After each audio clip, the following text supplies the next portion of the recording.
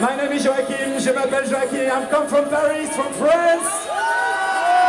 And this is my very first time here in Ushuaia.